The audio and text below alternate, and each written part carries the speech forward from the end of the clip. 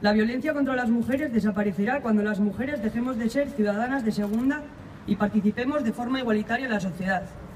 Desaparecerá cuando dejemos de estar a la cabeza de las cifras de pobreza, de las listas de desempleo o de sufrir la infravaloración en nuestros trabajos.